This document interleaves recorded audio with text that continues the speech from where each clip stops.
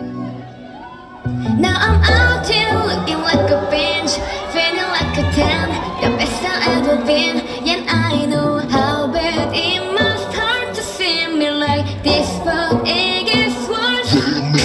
Now payback's bad, I'm bad.